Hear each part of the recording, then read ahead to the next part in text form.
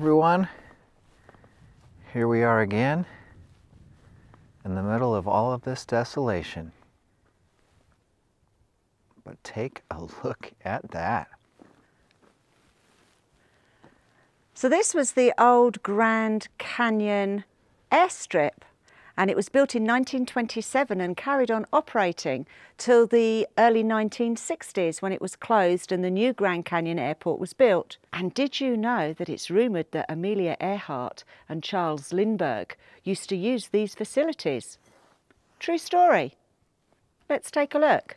So this was built by World War I Army flyer Parker Van Zandt, I think that's how you pronounce it, and he created the runway and built a hangar and started the first commercial air tours over the Grand Canyon. Scenic Airways also flew and they had the first paying passengers in 1928.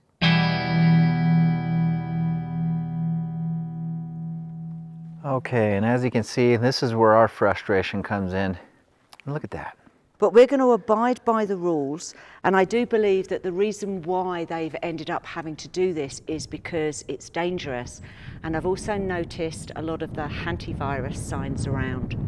But this was the original hangar, 1927. It's pretty neat. It is. I love this, the old school building techniques. 20s and stuff. It just, and even outside the sign, we'll get a good look at that sign because that's just incredible.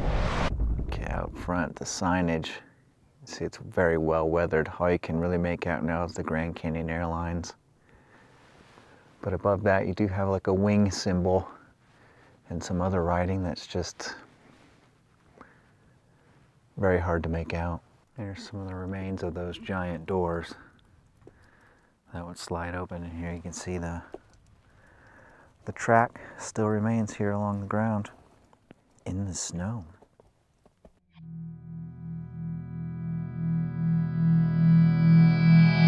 Here you can see the water dripping off from the, the roof there and how it's completely just caved in in this section. And it's really weak. The floor is just separating. So I mean, it's when you step on this, this is going to come down, which is probably part of why they put some signage up. It looks like an old workbench area. Oh, there's a load of um, equipment where things used to hang from the ceiling in here. I don't know what would have hung from up there.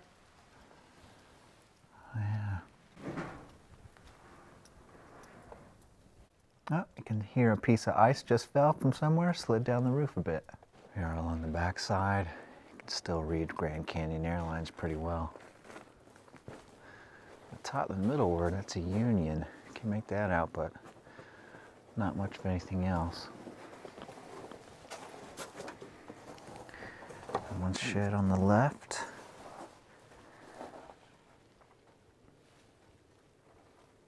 Twenty-eight gauge globe. Looks in really good shape. Corrugated metal I'm speaking of. You can't open this, it's jammed. The oh, wood's okay. the wood's swollen. Swollen, yeah. Mm -hmm. But it's pretty neat. Yeah, again, nice uh, stone stonework here, stone mortar. Look at those icicles. Okay, there's a little door on this side. Yeah, this one's open. It's strange though because there's no actual doorway to get in, just these two little cubby things. Let me get my shadow out of the way. Let's see, it goes down a decent way, so I don't know if they kept water in here or something. We've got this corral, a little building. We'll go up and see what's inside there.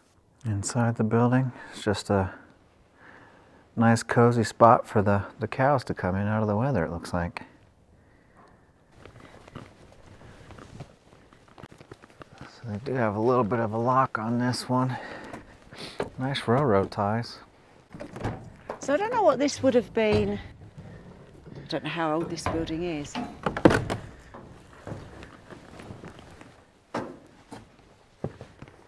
Just a feed store. Oh, I wonder whether or not um, I wonder whether or not hunters camp out in here in bad weather. Hmm, possible. No, just feed. Yep.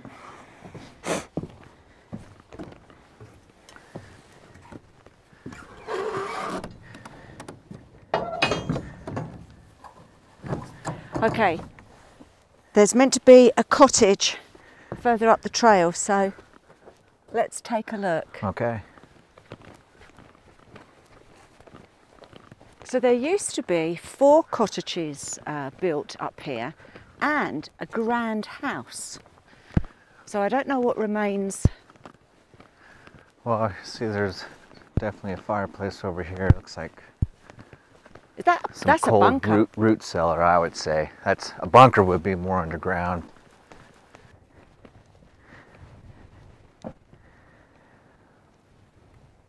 That porch isn't really going to support much of anything anymore. So, guess we'll walk around along the outside, peering through the windows.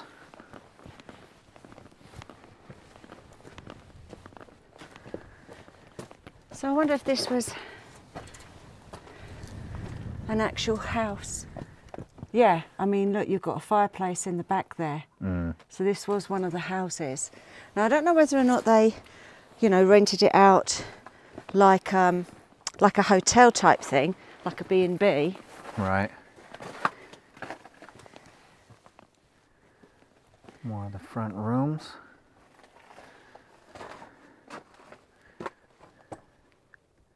It's the Okay. kitchen. Kind of hard to see at the. Oh, okay, I'm peering through. Let me get the camera in there a little bit. Oh, an intact light bulb. Nice.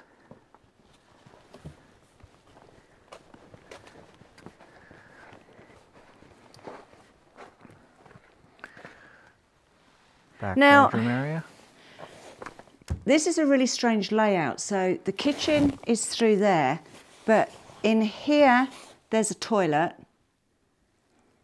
So this wouldn't have been a bedroom, I wouldn't have thought. Maybe it was with an ensuite. Well, yeah, because you've got a closet. Uh, that's a door to shut it from the kitchen. So the kitchen's in the heart of the house. Let me come around to this one.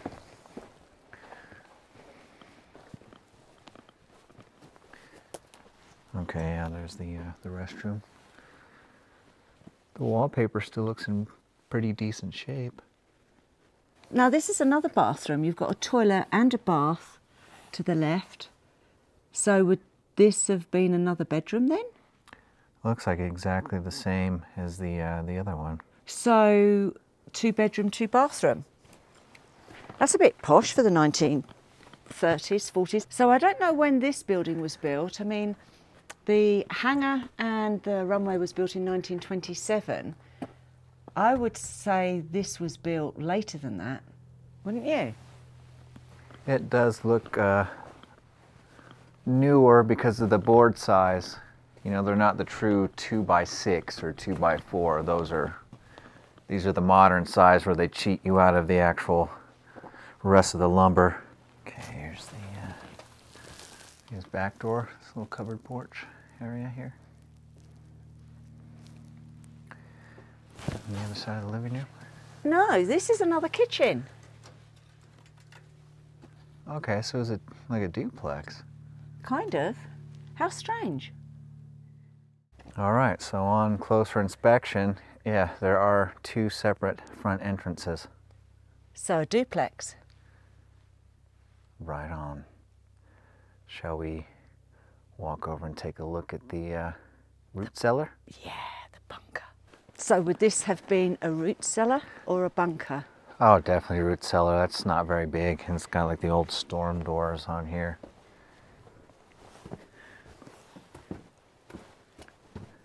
Oh yeah, that's small inside. It's tiny. But it's solidly built. Seeing it's got the antivirus danger sign up as well. Huh, interesting.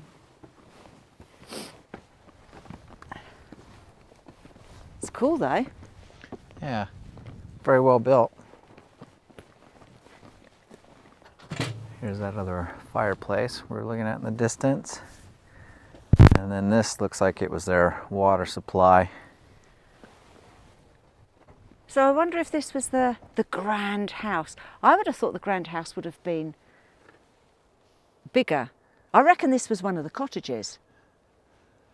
Yeah, there is, don't really see much else out around here. There is like a, a couple power poles, but I don't see fragments of, there's no other chimneys around. So if the, this had to be the chimney for the grand house, Do you think so? and then if there was cottages, maybe they just had small wood burning stoves. They wouldn't have had maybe a, you know. And then that could be, like you said, a bit newer.